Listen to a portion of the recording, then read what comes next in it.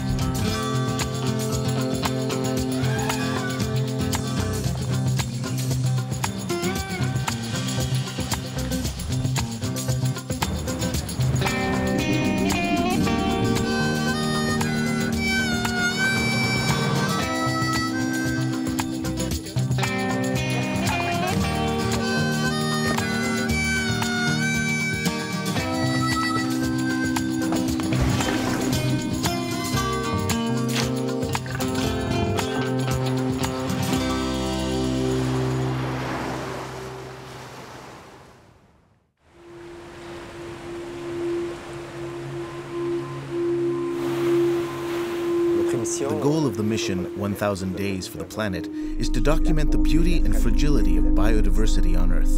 But we also realize that life in the oceans is truly threatened. Oceans cover more than 70% of the Earth's surface, and their volume is about 300 times more than land-based environments.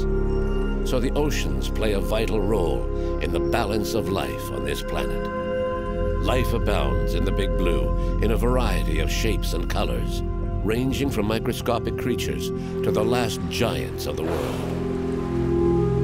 Unfortunately, our limitless exploitation of the oceans and our savage history with certain resources tell a sad tale. After nearly wiping out whale populations, we have developed ever more sophisticated fishing techniques, which have exerted an unsustainable pressure on ocean resources. Today, it is estimated that 87% of the oceans are overexploited or exploited to their very limits by the fishing industry. Large ocean predators have been especially affected by our insatiable appetite for resources of the sea. It is estimated that 90% of large fish have disappeared in recent decades. Despite their threatened status, the fishing industry still harvests about 65 million sharks each year.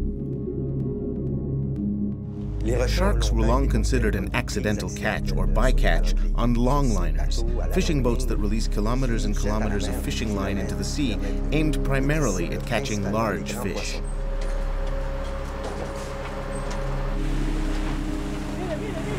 But sharks are no longer a bycatch. Today, they are targeted directly. In the past, there was no market for shark meat, but the recent development of the lucrative Asian market for shark fins has completely changed all that. The consequences for ocean ecosystems are disastrous.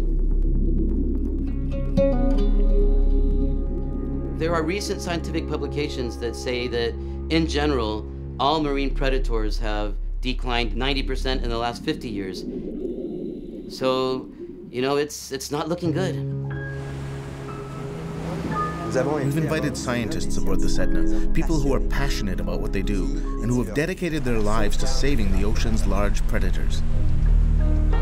Biologists Pedro Afonso and George Fontes have joined the Sedna 4 for this expedition. These scientists from the University of the Azores are also skilled fishermen who are able to catch a shark with a line and hooks specially designed not to hurt the animal. They will team up with Randall Arauz, a scientist and activist who has become well known internationally for his campaigns against shark fishermen, especially those who practice shark finning. Our first stop was the Azores, in the middle of the Atlantic. It's a place I love. It's filled with history. It's a sailor's paradise. On the beaches, the docks, even in the bars, you can feel the history and smell the sea. Sailors love to stop at the small port of Horta on Fayal Island. Located on either side of the mid-Atlantic ridge, the Azores archipelago is the result of 20 million years of volcanic activity. The spectacular scenery of the islands, which have emerged only 5 million years ago, continues to evolve and change. as a result of volcanoes and the movement of three major tectonic plates that meet here. In the oceans, seamounts rise up to the surface, which brings up nutrient-rich waters that feed an impressive diversity of marine life. In seamounts, you typically have upwelling um, events, that is, deep water that carries nutrients along the slopes of the seamount to surface or at least to depths where the animals can profit from it. Seamounts not only have more biomass or more animals, they have more species, including the top predators that might be travelers of the ocean, but that might stop on particular seamounts because they have the increased productivity which they can profit from. Everybody goes to the seamounts, including man, of course. Many migratory species appear to use these seamounts in some phase of their lives. But only recently have scientists discovered the important role played by seamounts around the world. We could probably try to do that, like again, like at four. One of the very first seamounts to be declared worldwide um, as a marine reserve for scientific purposes, so we can understand the whole process from bottom to top, is the Condor Seamount, which was declared a marine reserve about three years uh, ago. And this is just, just outside our door, which is a fantastic opportunity for all of us, scientists, fishermen, and managers, to understand how these seamounts work so we can better protect them. The volcanic seamounts in the Azores cause nutrient-rich currents to rise to the surface, which attracts pelagic species such as hammerhead sharks, whose status is precarious and which are increasingly rare in the world's oceans. Hammerhead sharks are among the most endangered sharks. All pelagic sharks are reduced 90% during the last 50 years, but hammerheads are down 98, 99% in certain areas of the world. So they need a lot of help. The crew of the Sedna 4 hopes to install satellite tags on young hammerhead sharks that seem to use some areas of the Azores as a nursery. Hammerheads are naturally less abundant because they produce much less offspring to start with. Secondly, they uh, actually um, make what we call some kind of parental care to their offspring in the sense that they move to very specific habitats where females think that their pups are going to have increased chances of survival during their first uh, months and, and years. So the nurseries of, of, of hammerheads are typically located in these very coastal areas, shallow um, uh, inlets, uh, mangroves in the tropics. In the particular case of this hammerhead species, the smooth hammerhead, we think that oceanic islands such as the Azores might play a crucial role as nursery habitats for the North Atlantic population of this species. In places like the Azores, there has been no historical fishing pressure on hammerhead populations locally, and this continues to be the case, fortunately. However, the adults which live an oceanic lifestyle are also attracted to the long lines, the industrial long line, in open water, and they are indeed uh, a bycatch, a typical bycatch of this fishery. And that is exactly the reason why now ICCAT has mandated the member states to forbid any landing of hammerhead species on the longline fleets.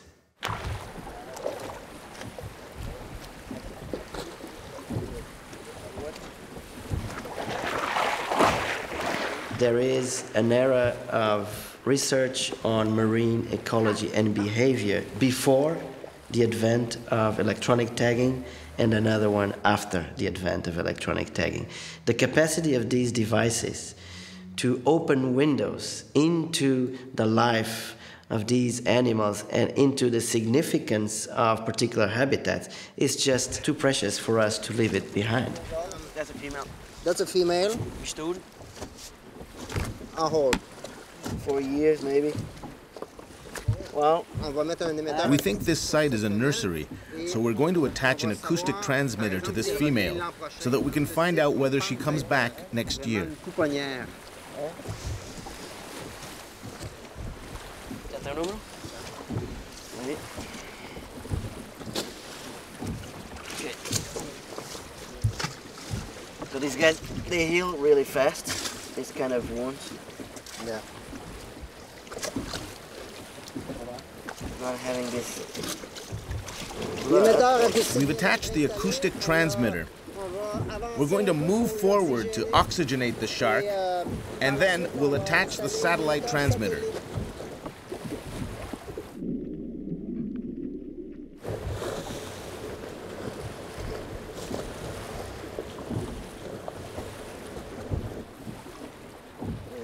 Yeah. You got it? ¿Ya tienes, tienes el número de marca?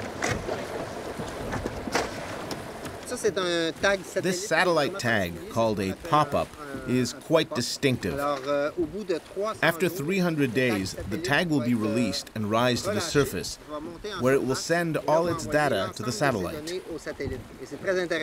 This will provide detailed and accurate information about the shark's dives and how deep it went. And if it traveled any long distances during these 300 days, we'll learn that too. Okay. Okay, whenever you want. One, two, Head first. three. Woohoo! Without knowing it, this female will be providing scientists with vital data. They'll use it to learn more about her movements and eventually to help put protective measures in place for this extremely threatened species.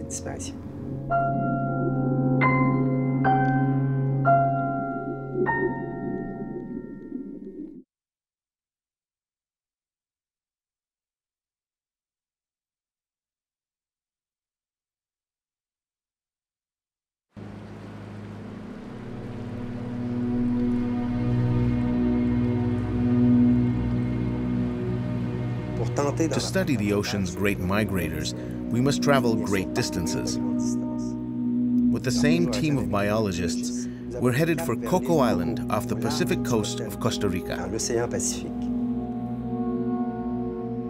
Coco Island is a paradise for both biologists and divers who come here from around the world. The marine biodiversity here is exceptional, and it's known for its abundant shark population. The sharks of Cocos Island migrate between Cocos, Galapagos, and Malpelo, Colombia. So it's really a shared population. This is very important because, of course, we can protect the sharks in Cocos Island as much as we want, but then they're going to go to other islands and they must be protected there as well. And also, let's say all three countries get together and say, okay, we have to protect them more when they're on these three islands, but what about when they're migrating in between? So we need the information now on when are the times where the sharks are migrating so that we can design, of course, the, the corridors.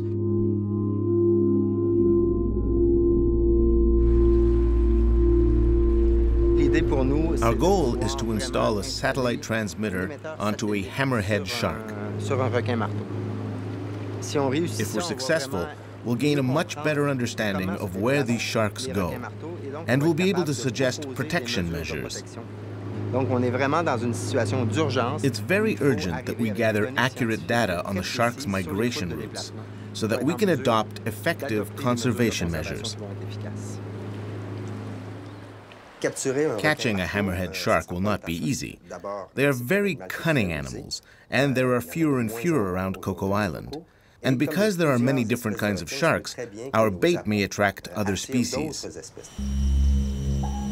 But it's very important that we get a satellite transmitter onto a shark to better understand how they move around in this area of the Pacific.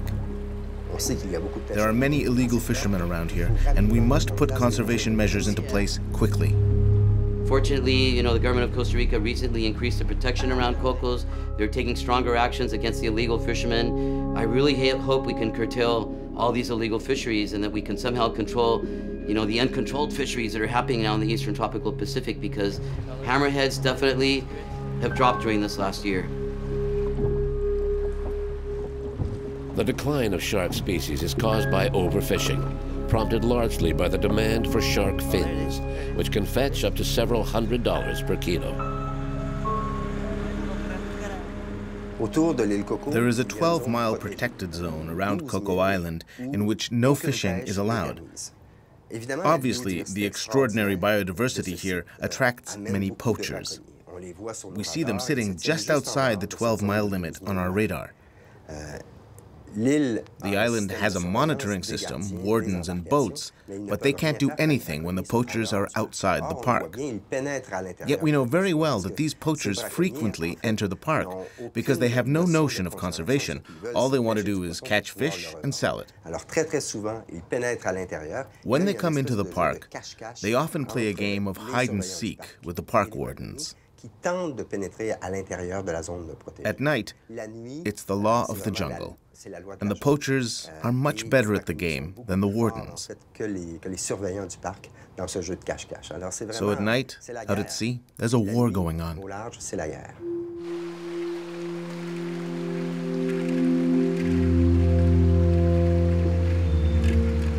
On the island, the evidence of poaching is striking. You see it everywhere. For example, this bridge across a small river was made from fishing buoys seized by park wardens. The director of Cocos Island National Park agreed to talk to us about this serious situation. This is where we store all the fishing gear. We can see here a number of different kinds of buoys. Do you see how many of them are painted? They do this to make them almost invisible and difficult for us to spot.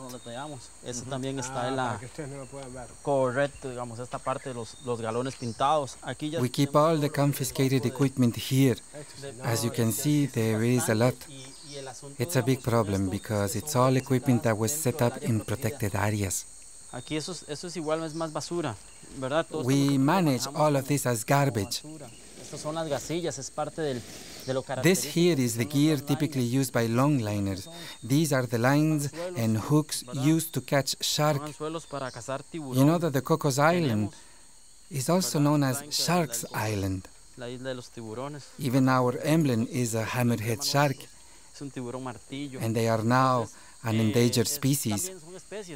¿verdad? Son especies que, son, que están eh, viéndose amenazadas. There are pressure zones that are between 8 and 10 miles from the coast.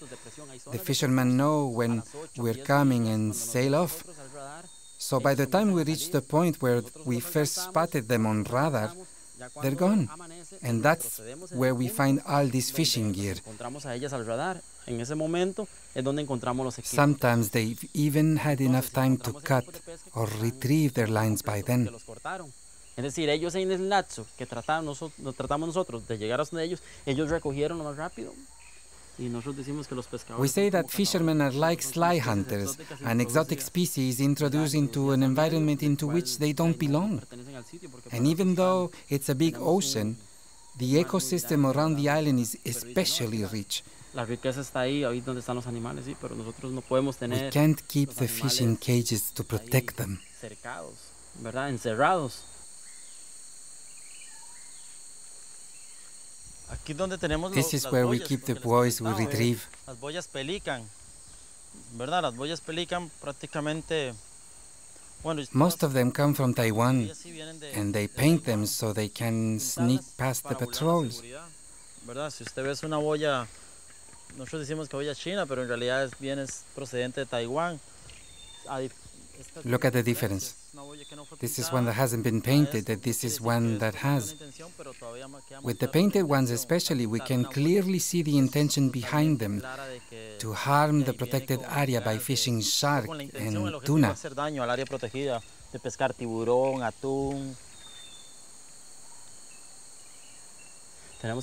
We need to reevaluate our strategies to counteract this problem. We're not here just to patrol and protect. We need to take it further and work on reforming our fisheries and navigation laws. Necesitamos eh, una ley de, de navegación y es un lugar con mucha, con mucha vida marina. This is a magnificent place with a wealth of marine life worth protecting. That is the least we can do with what we have. We must quickly develop new protection measures here in the island and at a national level to protect the resources. nosotros podemos desarrollar.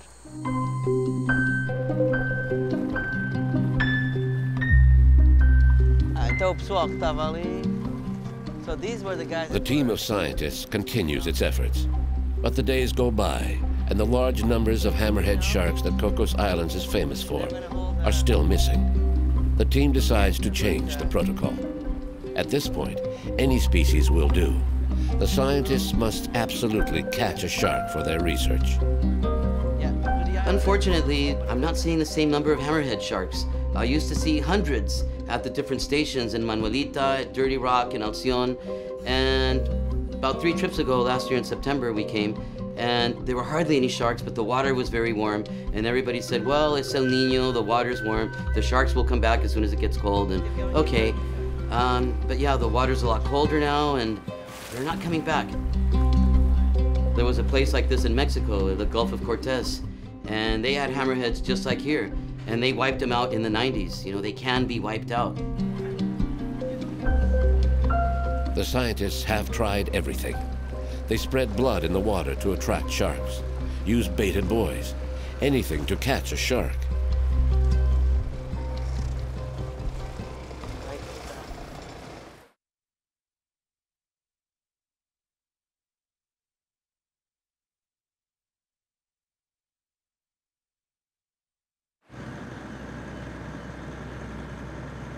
One particular night was extremely frustrating. We were trying to catch a shark for science, and yet on our radar we saw poachers coming into the park and setting their lines. And they probably had a better chance of catching a shark than we did. There was nothing we could do except alert the wardens. They said they would try to stop them, but we knew very well that their chances of catching the poachers were slim. So we have a boat. Do you see the boat there? Ajá. ¿A cuánta distancia se encuentra? At what distance? Uh, 12, 12 miles. It's about 12 miles away. It's about 12 miles away. It's leaving the Coco Island National Park limits. Are you heading right out to look for them? Yes, we're going straight there. Earlier, this boat came within three miles of ours. Clearly, it was completely inside the park boundary, so the fishing equipment could be just about anywhere. What they do is cast their lines, then leave the park limits. What they do is cast their lines and then leave the park limits. They'll remain outside at the 12 mile limit where they cannot be caught. An important point to explain in all of this is that if we reach them, we will most likely find fishing gear. But unless it's connected to the boat, we cannot prove that it belongs to them. The fishermen see us patrolling because they have radars like ours. And as soon as we start off towards them, they move further away. And so we can retrieve and confiscate the equipment. But unless the boat is right there, there is no way to prove anything.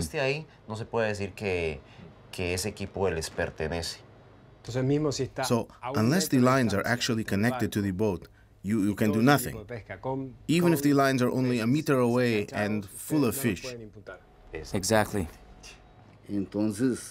For example, we can accuse them of illegal fishing, and two or three years later, the case will end up in court. But when the judge asked the park ranger if he saw that the lines were connected to the boat, if the answer is no, and the captain denies that the lines were his, then the case is dropped. No, señor juez, yo iba en paso inocente y yo llegué, ese equipo no sé qué, de quién era, pero mío no era. Entonces, This is one of the biggest problems we face here in the Coco Island National Park. es uno de los problemas más grandes que hemos tenido en el Parque Nacional Isla de Coco. We know what the problem is. We just need to change the law so that every fishing buoy is identified with a boat number. That would solve the problem. If a fishing buoy is found inside the park with your boat number on it, you're guilty.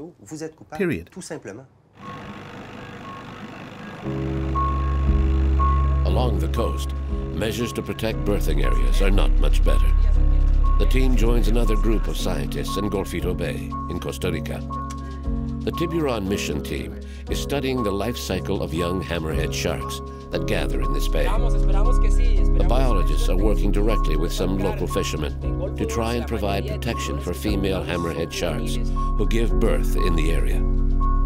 During the months of July and August is when there is a jump in the number of, specifically, young hammerhead sharks being captured. todos juveniles, lo que nos, nos afirma this just confirms that it's the season in which female hammerheads migrate to the coast. They probably come in May or June and leave their pups to grow in this protected area because it is a safe nursery, rich in nutrients. Here they can live for their first two to four years until they're adults until they can make the great migrations to other islands, such as the Malpelo and Galapagos, where adult hammerheads are often seen. This is our reality here in Gulf of Dulce and other areas along the coast of Costa Rica, where the hammerhead shark is often unintentionally caught by fishermen as bycatch. One of these fishermen has agreed to talk on camera. On average, how many hammerhead sharks do you catch every day? Depending on the area, in one day we can catch up to 100 sometimes more. In other areas, none. But whenever they're caught like this, most of them are already dead. Up to 70% are already dead. These aren't illegal fishermen. They're simple family fishermen trying to make a living. But for two months, they fish right in the shark nurseries. The problem with this species is that it spends most of its time swimming to oxygenate itself. When these sharks get caught in the fishing lines, their movement is limited so they can't breathe and they quickly die. That's why during those months fishing in this area must be prohibited. 63. 63. 48. 48. Macho. Male. Es un recién nacido. It's a newborn. It still has the opening from the umbilical cord. 63. It's 63 centimeters in length. Hammerheads are born between 50 and 60 centimeters. That male is two weeks to a month old, no more than two months. He's ready. For relax. An interesting fact is that in the Gulf of Dulce, there are more male than female hammerheads. It may be a strategy to ensure genetic diversity within the species. La diversidad genética de la especie. Vamos, come on, come on, go.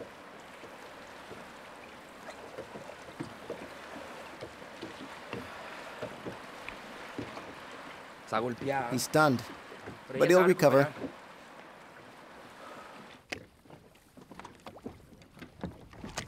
The capture of this young tiger shark is not good news. Other endangered species also appear to use the Golfito area to give birth among the mangroves along the coast. We're trying to protect the adults in their migrations, but we're leaving behind the young in the coastal waters. It's sad because we work hard to try and protect the hammerhead. And when we see these things, we become discouraged. It kills the flame. But at the same time, it's the reason we keep working. We need to know more about them to protect them. We need to work closer with the fishing communities to make their protection a reality.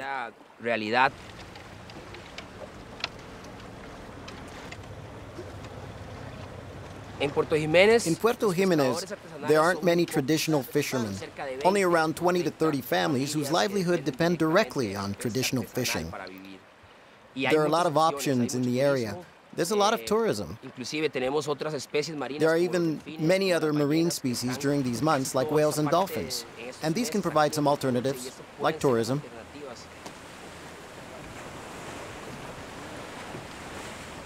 We have to work with the fishermen so they understand that the hammerhead is endangered and that these sharks are worth more alive than dead.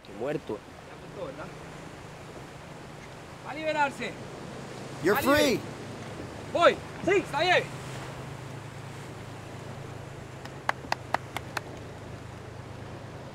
The biologists of Mission Tiburon are doing fantastic work. They raise awareness with young people and fishermen, but it will take more than that. We need laws to protect the sharks' birthing sites and nurseries for these two critical months of the year. And we need to find a way to financially compensate the 20 or so fishing families during this period. It shouldn't be that hard. It probably costs more to send scientists somewhere in the world to meet two or three times to try and understand the problem than it does to implement real measures to compensate these fishermen. But we must absolutely find a way to protect the zones during these two critical months.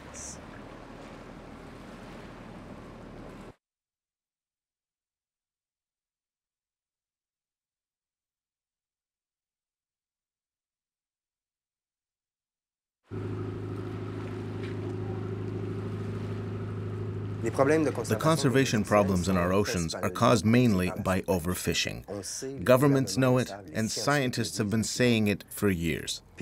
Even worse, scientists are saying that we have maybe 40 or 50 years to change our ways, or fish stocks will collapse. So if the overfishing problem isn't solved early in this century, there will be no more fishing at all by the end of the century. Longline fishing is non-selective and every year its bycatch kills a huge number of non-commercial fish, turtles, birds, and other species. One longliner can deploy up to 100 kilometers of line equipped with thousands of baited hooks. This type of fishing primarily targets large fish, such as swordfish, which are a good source of income for fishermen. But overfishing has reduced stocks to the point where revenues are not sufficient to cover the cost of the industry. The significant decline in swordfish populations has forced the industry to develop new markets. Long considered bycatch, sharks were once thrown back due to their low value.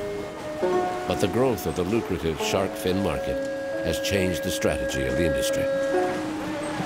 There's very little known about sharks, and shark science only started until the 90s. And I think all shark scientists now share the concern that we're running out of sharks and we really need to work together to generate the information we need and to get the political change we need. And one day, Randall managed to get a friend hired on as a cook on a fishing boat. The images he took documented for the first time what happens at sea, far from prying eyes. The footage shows turtles and all sorts of bycatch, but the most disturbing images are of what happens to the sharks. These were the first images of what's called shark finning. In its most barbaric form, the shark is brought on board, its fins and tail cut off, and then it's thrown back to the sea, often still alive. Obviously, without its fins and tail, the animal can no longer swim and circulate water through its gills, so it dies an agonizing death by suffocation. It's a cruel practice, and these images galvanized public opinion.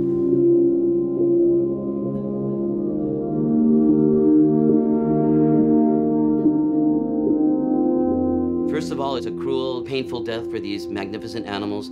Uh, from a more technical point of view, it's unsustainable. They're wiping out marine biodiversity so that a culture on the other side of the world can have their shark fin soup. These images of shark finning helped raise public awareness, and some countries now ban the practice. But this has not stopped shark fishing altogether. What happened is that a new market has been created. Many countries now require fishermen to keep the shark carcasses. In a way, by creating a market for shark meat, we have legalized a once condemned practice. But nothing has really changed. We're putting even more pressure on shark populations. The way fisheries are controlled out here in the open sea, it's no man's land. It's everyone take all. Everything is for free. And that isn't changing yet. And I think that is something that many countries have to work on. The United States, the Economic Union, Australia, which is a big fishing nation. And, you know, we need to get together and change the way fishery policy is established. We have a very interesting relationship with the government of Costa Rica. However, we have a very bad relationship with the Costa Rican Fisheries Institute. The Fishery Institute is an autonomous institute, which means it's not part of the central government. And since it's autonomous, they are not ruled by the president. They are ruled by a board of directors. And guess who's on the board of directors? Shark finners, shrimp trawlers, tuna purse seiners. So they're all there not to establish public policy. They're there to protect their own private interests. What we need is fisheries directed with science in mind. How many boats can fish this resource? When should we stop fishing? Where should we not fish? Then even if it hurts somebody's pocket, we must stop fishing.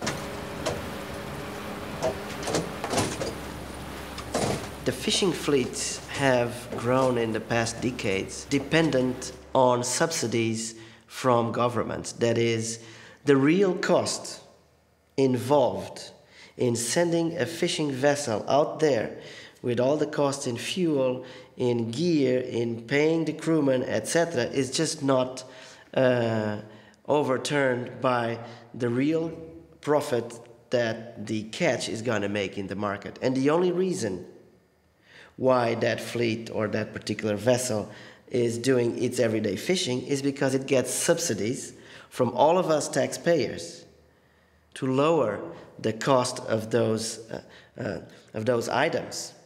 If we would be to take all the subsidies to the fishing fleets all over the world, and in particular in developed countries, most of those fleets would stop the day after.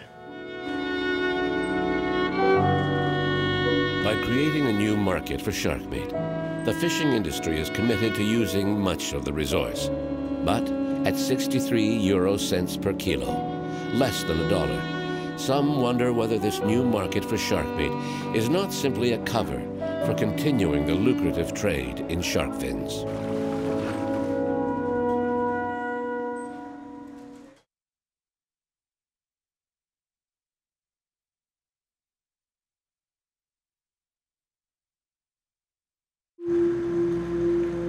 Effort to catch a shark off Cocos Islands continues. Time is passing, and the scientists are redoubling their efforts. Pedro and George have been working day and night. There's no question of giving up. They can't leave empty-handed. The stakes are too high. If we want to effectively protect and conserve these highly migratory species, we need to figure out where the critical habitats are located, whether they are for mating purposes, for spawning purposes, or for juvenile growth purposes. This is the main issue. Finally, after many attempts, they catch one. It's not a hammerhead, but the team can still track its movements and learn the migration routes of this Galapagos shark.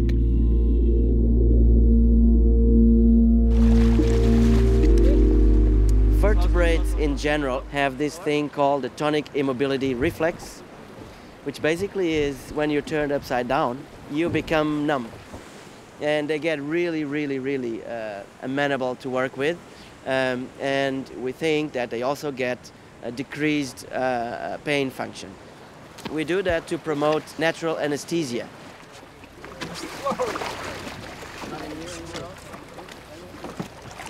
Okay. Yeah, wherever. That's the tag. This is a female Galapagos shark. Uh, they just installed an acoustic tag inside it.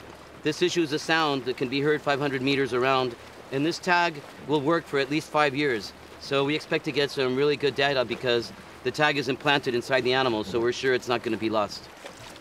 Yeah, go for it. Quick action is needed. The scientists install the satellite tag. Okay, bottom one. Keep going for a while. Yeah. Well, the shark looks a little tired, and it's you know it's already been hooked for a few minutes, and I'm just a little concerned that you know the time it'll take to deploy the satellite transmitter on it might be a little too long.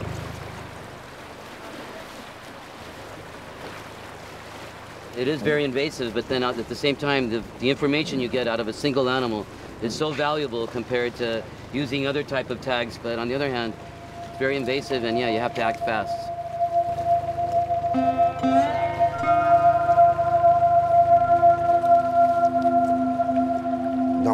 Usually, after the first stage of the operation, We turn the shark over and move the boat to oxygenate the animal.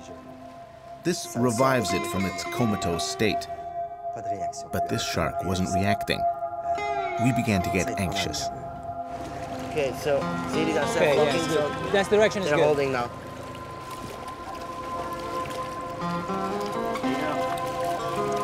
Yeah, Daniel, you pull it in, yeah? You're the man. All right, the hook is off. See, learning. Okay, uh, it's going. It's going.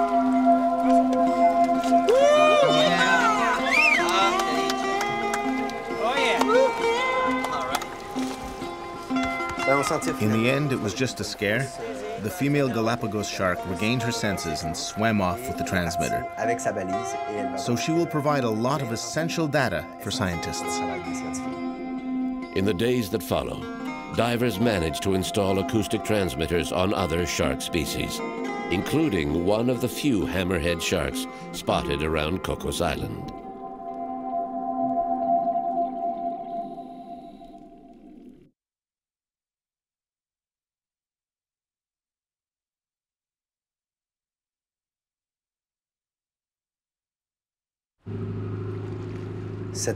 This glimpse into the world of sharks and fishing really makes you think. Scientists have identified most of the problems, and solutions do exist. But if we want to save these threatened species, what's missing is a willingness to implement those solutions. This will probably mean making sacrifices and changing our consumption habits so we can change the model and build a different relationship with the oceans. If we want to preserve what remains of our oceans, we'll have to pay the price for our past abuses.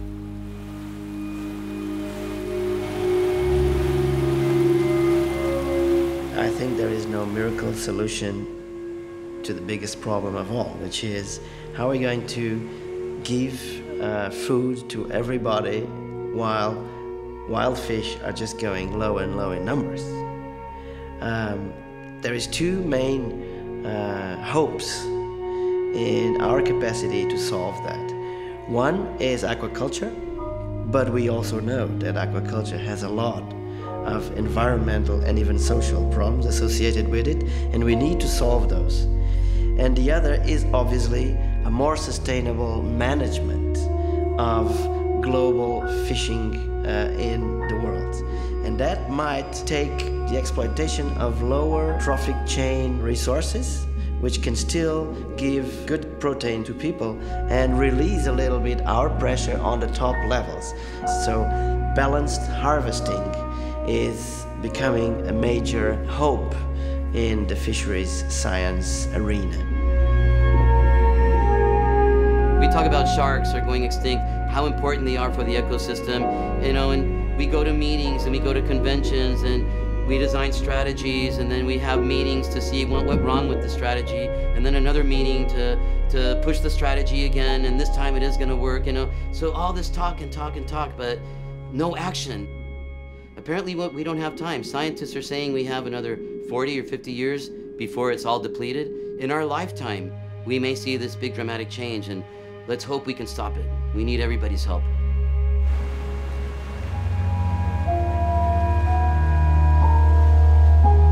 There are serious conservation challenges, but I'm optimistic. When humanity mobilizes, we can accomplish great things. We mustn't forget that everything on Earth is interconnected.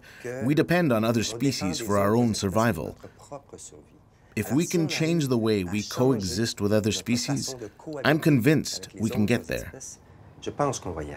We can do it, I'm sure.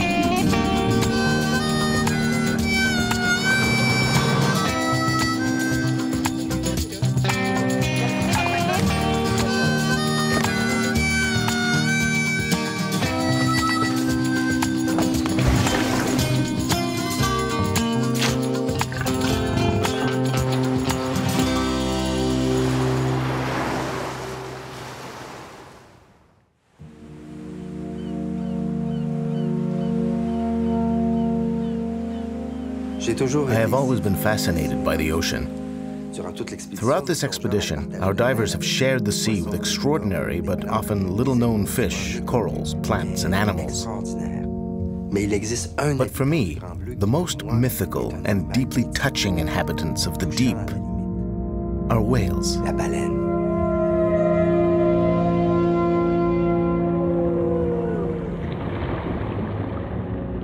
Team has headed to the Silver Bank off the coast of the Dominican Republic in the Caribbean Sea.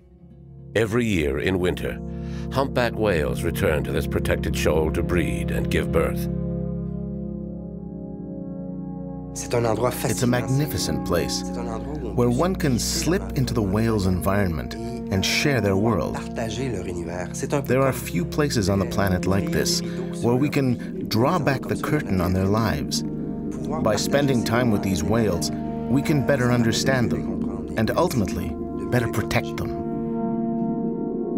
There are few places where humans can share the underwater world of the last giants on Earth.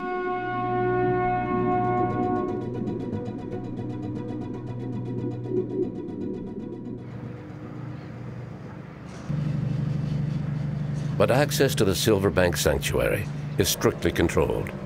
Only three boats have permits to observe humpback whales during the breeding and calving season. The crew has left the Sedna 4 to join the Sundancer, a ship that has plied these waters for many years. It takes about 12 hours to reach the sanctuary.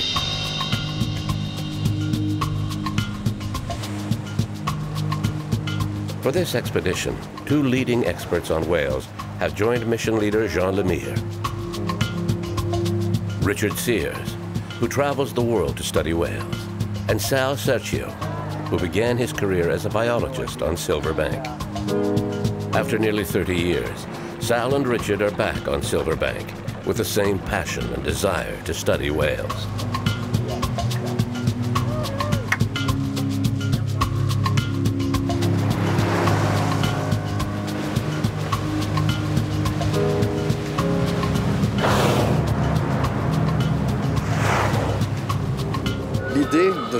Idea of coming here back then was to gather all the scientists from the Northeast who were working on humpback whales, from the St. Lawrence to Newfoundland and Labrador to New England, together on Silver Bank. When I found out about it, I was naturally thrilled to take part and come observe where these whales go in the winter. It was the first time that we really focused on photo identification of humpback flukes to find out where all the whales on Silver Bank were coming from. I was here 28 years ago, and when the opportunity to come back to Silver Bank arose, there was no way I could resist on that trip, it just so happened that there were several major scientists that were currently doing work with humpback whales. So I got quite lucky to be involved in a project of that level. And you know, I was you know, on the breeding grounds of humpback whales in the North Atlantic, one of the most densest aggregations on the planet. Scientists like to go where the whales are abundant. Doing research far at sea is extremely difficult, so where there are a lot of whales, you'll often find an abundance of scientists too. Jean and Richard are old research colleagues. From the Sea of Cortez to Iceland to the Gulf of St. Lawrence in Canada, they have worked together to photograph different species of whales around the world. Photography is the basis of whale research. Patterns of skin pigmentation are unique to each animal, which allows them to be recognized and told apart. This is essential for studying their behavior.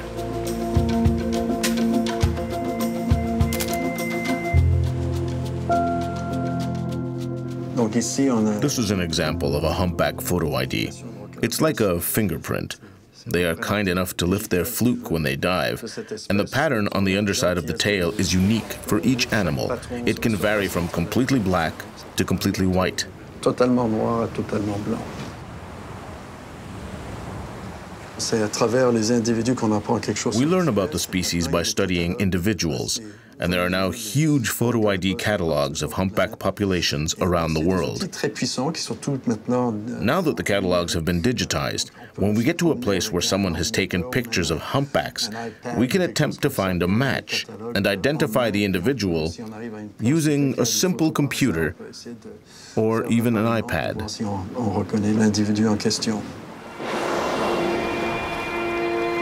Photo identification has helped pinpoint the main gathering sites of humpbacks around the world.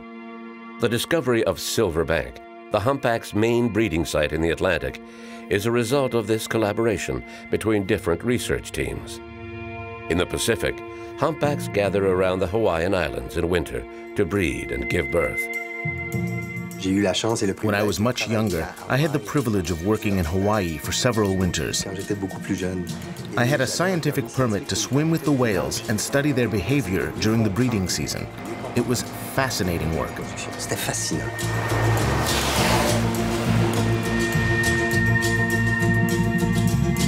This underwater world is so foreign to us.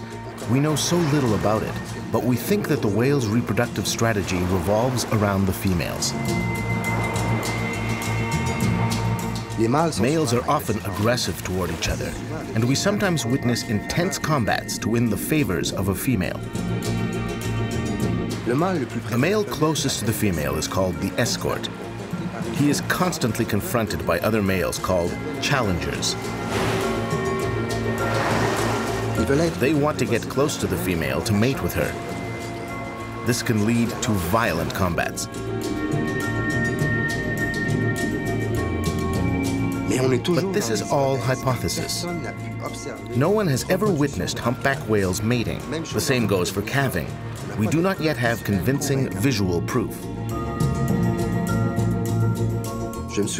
I remember one day I filmed the erect penis of a male approaching a female. The footage has become popular because it's not something you see every day. But spectacular as it was, it didn't prove a thing. It's all hypothesis.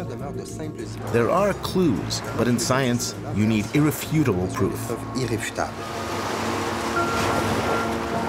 There were situations where we were surrounded by 10 or 15 males fighting amongst each other, and it was tense at times. But they are among the most memorable moments of my career.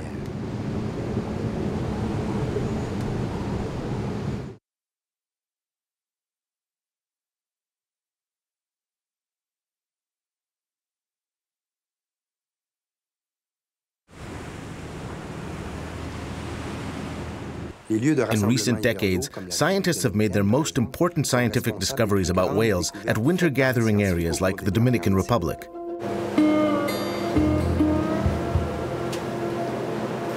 The seasonal gatherings of humpbacks on breeding grounds give scientists a chance to accumulate a large amount of data on the various subpopulations.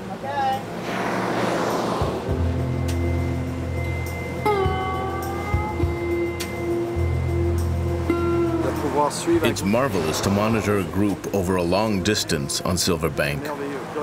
I couldn't have imagined it any better when Jean spoke to me about returning here.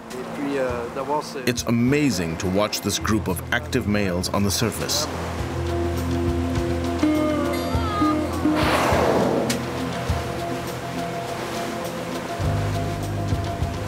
That's a baby breach.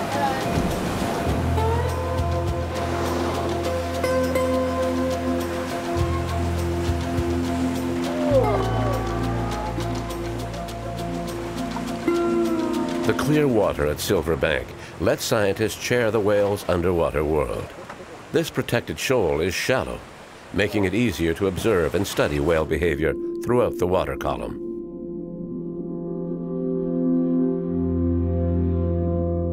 Mothers and calves are much calmer than males, who often engage in combat.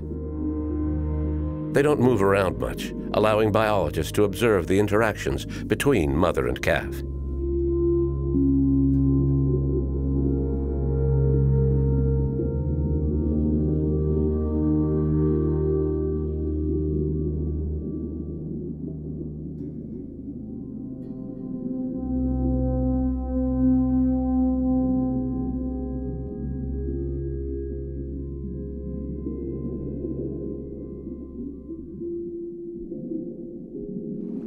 Wow. Yeah, did you see the way the calf was let go by the mother? Yeah. Just came right up to the surface. She stayed down there, and then she came up. It was nice. Amazing.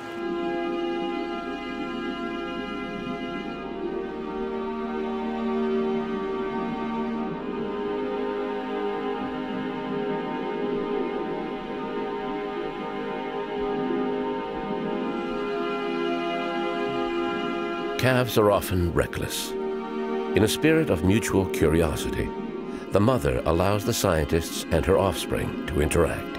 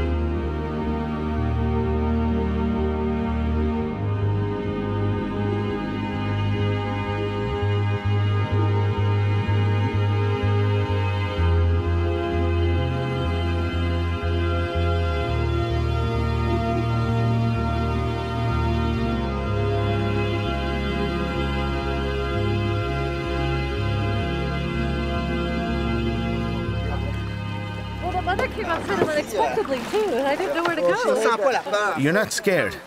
C'est un moment de... These are what I call little moments of eternity. They get etched into your memory forever. It was fantastic. I've never had an experience like that before. Amazing. Amazing. What's all the what's going on? Are we going? How much I have the car warranty? She just came up and breezed through there without touching any of us. I would have touched her pectoral fin. I would have Yeah. had it. Right there. You would have touched what? La mère laisse venir. The mother allowed her curious calf to approach us. It was no more than three months old. Donc les curieux, donc ils nagent vers nous. The mother was calm euh, and watchful. If the calf came too close, she would just come over and turn. La mère va juste venir chercher le jeune. And we were sort of trapped between the calf and the mother. Le jeune et la mère Daniela wound up right over the mother's back, sur le dos carrément. de but she didn't move. And it was the mother who moved off. Faites le mouvement pour nous éviter. Not far, maybe a hundred feet, and then returned to the bottom. The calf moved under the mother. Really, it was the perfect situation. In our experience working in Mexico, the whales aren't as curious and they're not as tolerant. So we can approach them in the boat, but they don't come over and, and check us out and go under the boat and look at us and approach us more in the water. That was completely new. Yeah. No, it was fantastic. Whole s- I mean, it, and also it was so long. I mean, sometimes you get in with whales and it, you get a nice gift for five minutes, ten minutes, but this went on for hours, and we'd get out, and this time we were able to stay in a good long amount of time. It's been really, been a really nice f- moments. Incredible. Des rencontres comme ça. With encounters like that, you can die happy tomorrow. Incredible.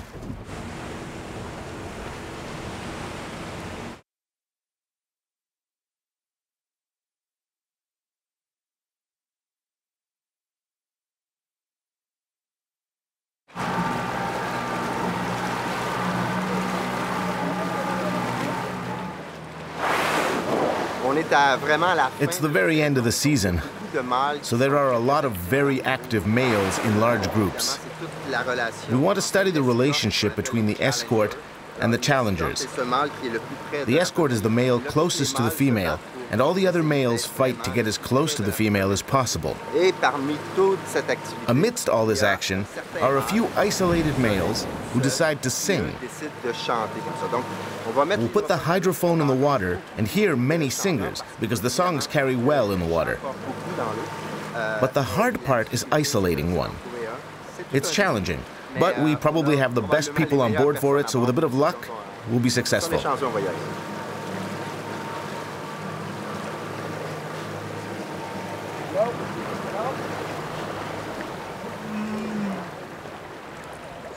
Now we're searching for a singer. It's kind of like looking for a needle in a haystack. And what we want to do is keep moving, listening each time we move to look for um, a single individual singer to get louder and louder. And once it gets louder from one stop to another, we know we're moving in the right direction and then we can start to look for him on the surface. Finding a lone male singer among groups of humpback whales is a real challenge. Scientists must identify certain parts of the song, long, prolonged growls, that mean the male is about to surface. They then scan the horizon for the whale's spout on the surface and try to approach the male slowly to avoid any kind of disturbance. When you find your singer, you're ecstatic. When you slip into the water with him, the song is so powerful that your internal organs vibrate. It's hard to describe. It's simply extraordinary.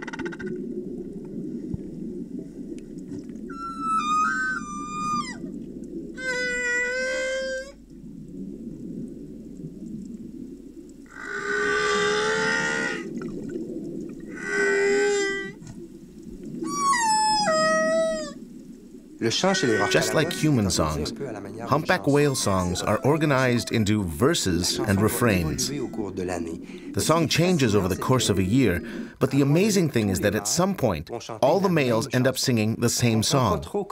We don't understand exactly how this happens, but it's extraordinary. And what's even more incredible, listen to what happens if we speed up the song. Here we've sped it up 14 times. Listen.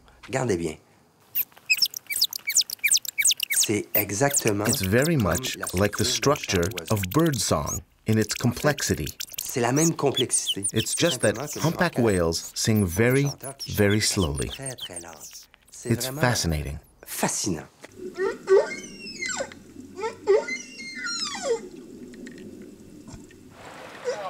Song in the humpback whale is a major part of a breeding system and the role it plays in the breeding system.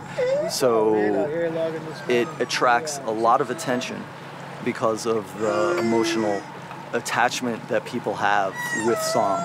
And that's both on the level of what we as humans come to, uh, what song is all about. Song is an incredible uh, aspect of every single culture. It's a very important aspect of every single culture on the planet. This song changes throughout the breeding season.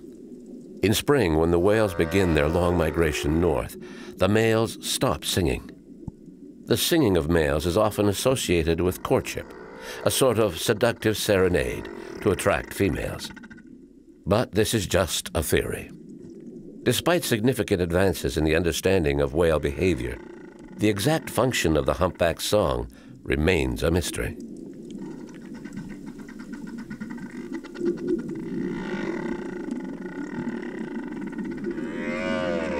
At any given time, all males in a group sing essentially the same or very similar songs. They change the song over time. Um, it's a gradual and progressive change. And all whales within a group change their song in the same ways. So they're learning from each other.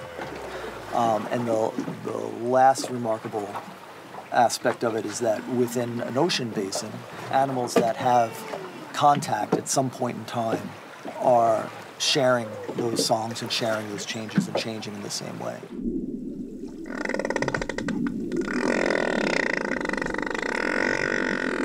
Scientists still do not understand how males share the same song. They also wonder how the song is transmitted over long distances, well beyond the hearing range of a single group gathered in the same area. But beyond science, the incredible emotion produced when you experience this unique phenomenon is perhaps its greatest mystery.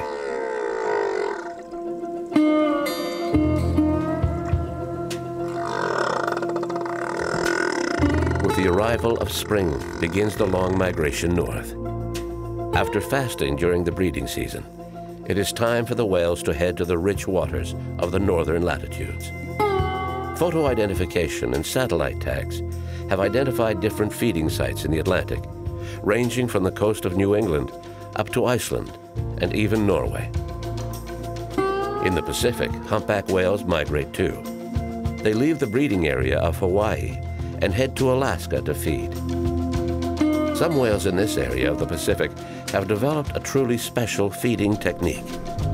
Rather than feed alone, some humpbacks form groups to capture their prey, the herring that school in the rich waters of Alaska in summer. These whales have developed a shrill feeding call, which they use to synchronize their assault on schools of fish. They also use bubbles expelled from their blowholes to create a sort of net. The feeding call frightens the herring, while the bubble net herds them together. The work of biologist Fred Sharpe has helped to understand this truly unique fishing technique, one used only by a small number of humpback whales.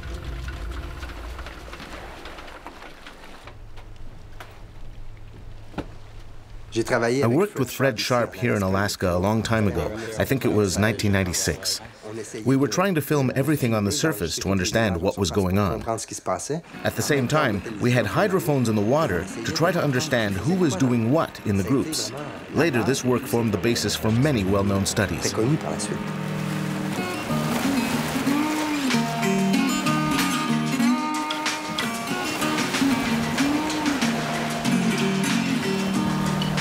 I arrived in Alaska in 1987, and I came up as a naturalist and uh, saw my first bubble net and never looked back.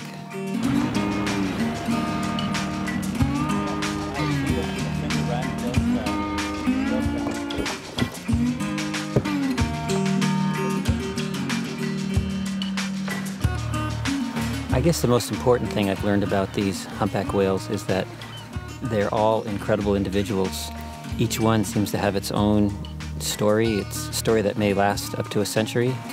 They have their own ways of feeding, they have their own friends, their own places, their own places they call home, and that's been the most wonderful part is just learning the tremendous lives of these whales. The humpback whale in southeast Alaska is truly one of our most abundant and amazing backyard predators. Almost all of them are from Polynesia, uh, the Hawaiian Islands, and they come up here in May and they'll spend six to eight months feeding on herring and krill. And then around Christmas time, they head back to the islands of Hawaii and complete their amazing life cycle. Right there, Okay. right there. Hold this position. Captain, should we move a little bit to have the photo ID of this one? That's just phenomenal. He's gonna die. There he goes.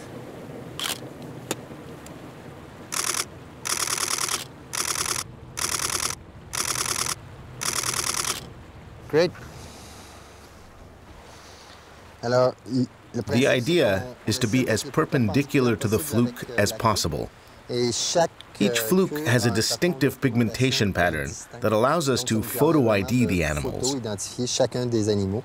Et c'est comme ça It is important to be able to identify individual whales because if we want to study their behavior, we have to be able to tell the individuals apart. All body marks are important, so we try to take a lateral photograph of the dorsal fin and then one of the fluke. That way, we can be sure that we get the ID right. And if we're ever in shallow water and the whales don't show their tails, we also have the dorsal fin as a reference. How many animals do you have in your catalog? About a thousand. Thousand? Yeah. Oh, yeah. yeah, pretty big. Uh, Jan's got about 2,000, and the park, there's probably about 3,000, 3,500 animals for the northern southeast Alaska. A few Guadalajarans come up, a few Mexicans, um, a few Asiatics show up once in a while, but mainly Hawaii. Yeah, almost all Hawaiian. Bubbles. Bubble, right, right here. See that nice softball side? Yeah. and the classic. Now those are the ones that really scare the fish the most. Bigger, faster, they reflect more light, um, they make a lot more noise. Those are the real workhorse of the bubble net. It, um, and it looks like, looks like this one, Anna, looks like it might be going in a counterclockwise circle. That's kind of interesting. About 90% of the animals blow in a clockwise circle. Oh, yeah. And it's remarkable in that it's the same level of handedness or laterality that humans have. So it's another striking similarity between humpback whales and humans. Hmm.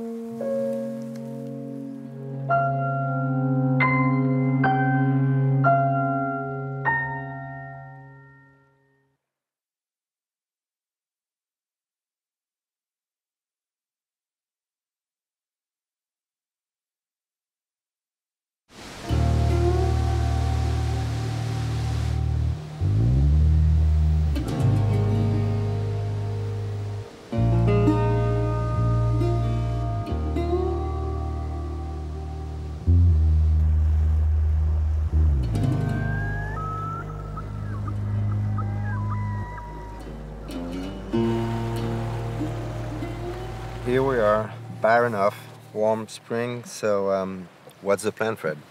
Well, I figure um, we're gonna have a lot of fog this morning. So, what do you think, Cap? You feel comfortable navigating in these fogs? Oh yeah, yeah. This is not a problem. It's supposed to burn off by midday, uh, and it's actually, I think it, I think it already is starting to burn off a little bit. So I figure, um, good time for running north, and uh, hopefully things will burn off by the time we get up to the confluence of Peril Strait and Chatham. And that's why we probably got three, four hours to get up there? When we uh, arrived by plane, we saw, you know, good group of whales around Parker Point. Right. So, you know, it's close to Angoon. So. Yeah. Typically, there's a lot of herring schools still in this area at this time of the year, and it's been kind of an unusual year. Seems like the herring have sort of picked up and moved out of Dodge, and so in some ways we're looking for the prey as much as we are the whales. We have the weather on our side, so uh, let's Yeah, move. we do.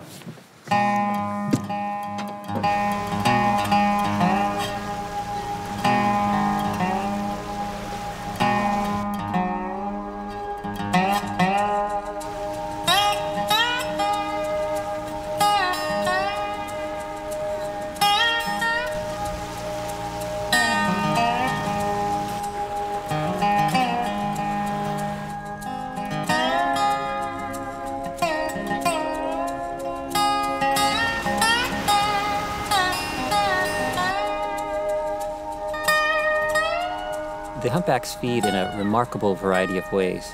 And the krill, these small shrimp-like crustaceans, they're quite easy for the whales to catch, and so most of the time when they're feeding on the krill, they can do it alone. Typically, they hunt the krill by just swimming up to a school and opening their mouth and engulfing them.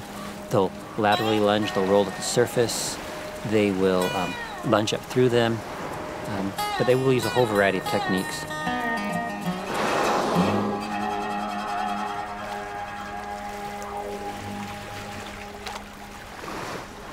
Amazing.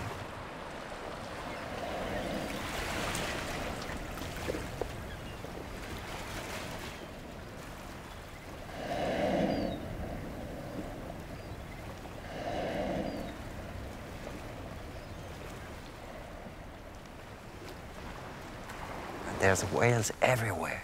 Everywhere.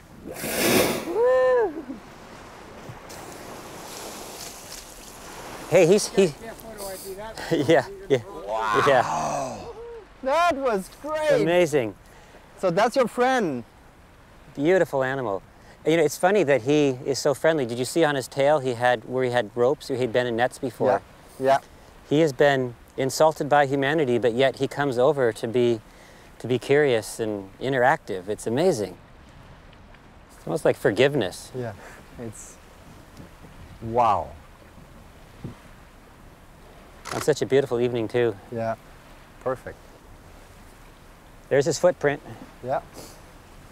What do you suppose? He just curious? He just just curious. Just yeah. wanting to know who we are and what's up. Yeah. And we are with a very curious whale, one that keeps passing right under our boat. And what's amazing is that it comes very close and then turns slightly to look at us. It's done this three or four times. And see, again, instead of chasing the whale, yeah, yeah. You exactly. just wait yeah. and you're attacked. That's right. Couldn't have said it better, Massan. Couldn't have said it better. going under, going under. Hello, hello. Thanks for coming back. It's gonna be near you, Captain. Thanks for the fluke ID. Nice. Amazing. Amazing. Amazing. Yeah, coming, coming right here, right here.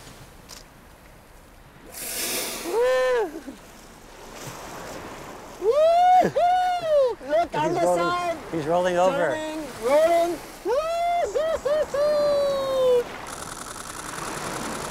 Wow. Yeah. They know exactly what they're doing. They swim around the boat and turn to look at us. This one rolled right on its side to really get a good look at us. It's hard to know why they do it, but one thing is sure. It's very much a conscious act. You know, I've just been so incredibly curious about them for, you know, a quarter of a century, and it's nice to finally think they want to know a little bit about us. It's really touching, and it's really, um, it's kind of a gift. And they, they share so many similarities with humans. Their brain is, is gigantic, and it's laced with spindle neurons, and in humans, those are associated with language acquisition, social intelligence, and compassion. And we see a lot of compassionate acts with humpback whales, the way they'll protect their young if there's predators around, and they'll come to each other's aid, and um, just general interspecies interest. It's a sense of higher, higher cognitive function. Yeah.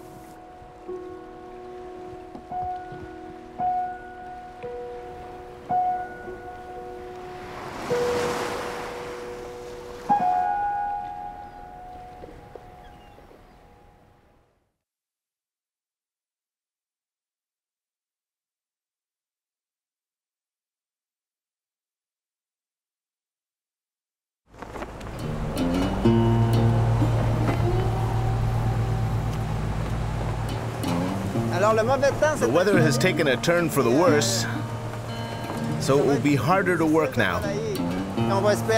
Today we hope that the whales we saw yesterday, individually using bubbles to feed down deep, will come together at the surface so we can observe them using this technique as a group when the attacks are synchronized with song.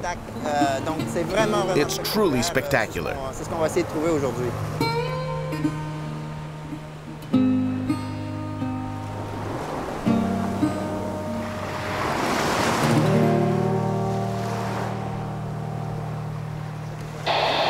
Calling the Washington State Ferry Fairweather. This is the Wayfinder. Do you copy 1-6? This is the State Ferry Fairweather, WDB 5604. Back to the call.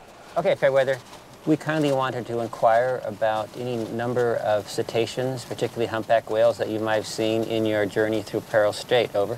At 1103, we saw them bubble net feeding just inside uh, between Povorotni and Light 22. And at 1430, we spotted a couple of whales, but there wasn't a lot of bird activity, and we didn't see any bubble feeding on our way, you know, this direction. Well, thank you so much, and kindly, if you, in your further journeys, come across any more significant numbers of bubble net feeding humpback whales, we'd really appreciate uh, to hear from you. Roger. The people of Alaska know whales and their behavior. This is an asset for Fred Sharpe who must travel great distances to find the whales that use this particular feeding technique.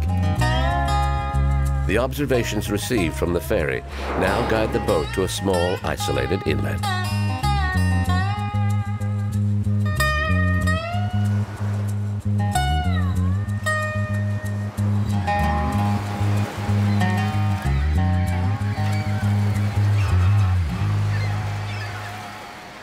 These whales are hungry and they're looking for food. They're cruising the strip. They're looking to mix it up.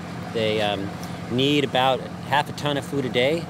And humpbacks have this large trick-or-treat bag made out of spandex on their tummy. And they feed by engulfing big, big chunks out of the ecosystem every time they feed.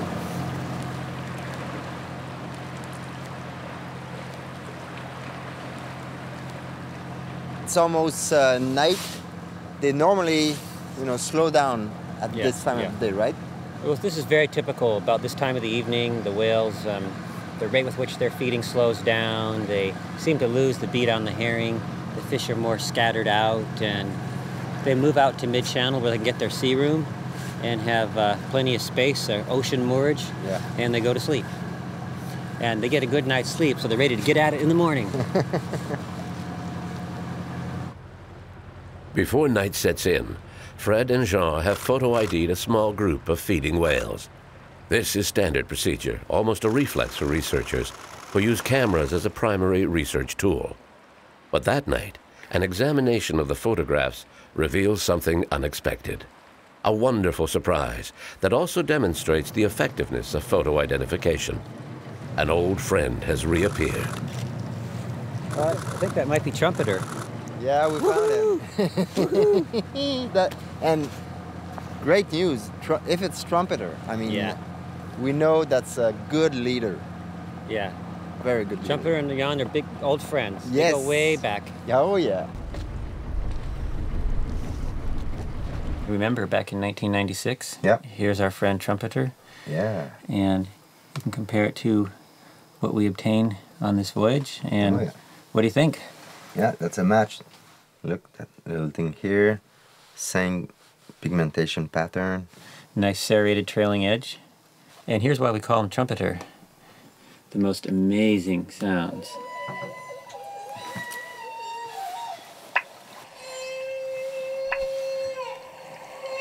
Makes the most brilliant low. It starts out with this nice low, um, steady, and then he just goes off the scale. It's like you're saying Miles Davis. Nice.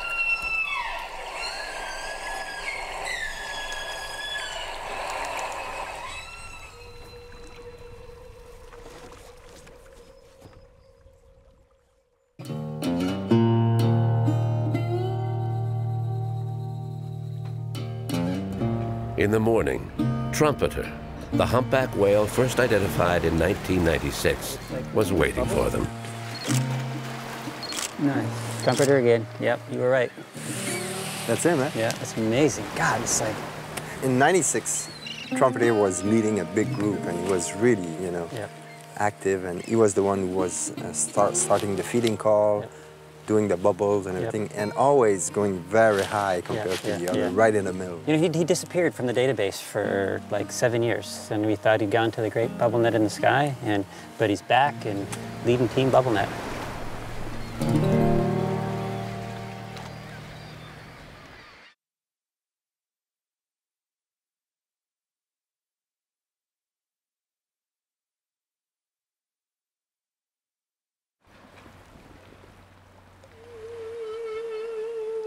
That should be plenty deep. Yeah. Yeah, that sounds great. Yeah, nice and loud.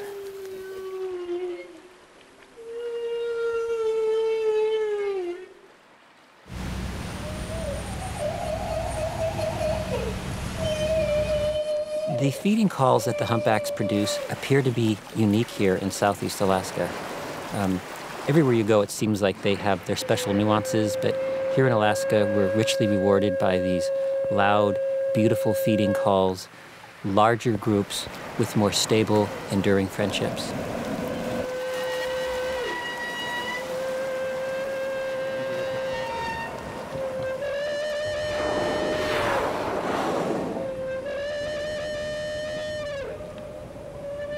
Oh, nice. Feeding call. clear, pure. I mean, it, it hurts my ears. I sit in the lab and listen to this hour after hour, and it's like, after a while, it's like, this is crazy. Do they start the feeding call first and the bubble after, or? Seems to be a lot of variation there. Yeah, a lot of individual style, but uh, typically we'll uh, hear the bubbles and the feeding call start about the same time. Oh, now you can hear the bubbles coming up. You hear that? Deploying the bubble net, percolating it out of the out of the blowhole as far as we know. These Alaskan whales have developed a unique feeding technique in which whales cooperate to capture prey. After more than 15 years, scientists have concluded that trumpeter is still a leader among the whales, often sounding the charge and commanding the troops. Those sounds that you're hearing, those are the whales diving below the herring schools and producing these incredibly loud, annoying sounds. It's almost like turning a fire alarm on a building and all you want to do is run for the exits. Well, that's what the whales are doing. And one whale going in usually a clockwise fashion, and the bubbles rise up and effervesce and create this amazing corral. It's almost like a, it's almost like a rocket tube that the whales then come shooting up and engulf the prey at the surface.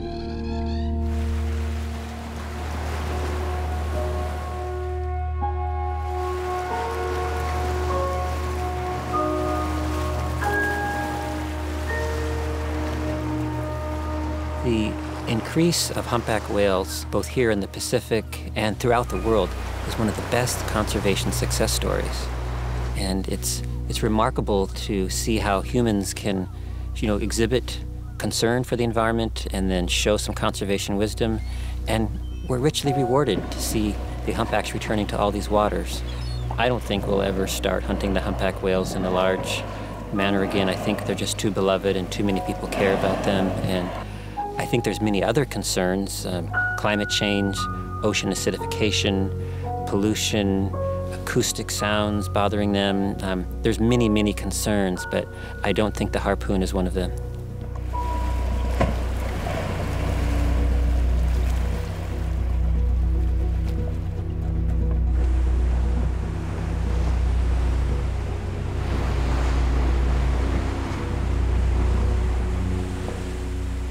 The complexity of whale song is an exquisite example of how nature and evolution have shaped living things to exist in balance with their environment. It took millions of years to create this balance, so more than ever, it's vital that we do everything we can to protect the living heritage of our planet, so that whale song can go on delighting our children and our children's children.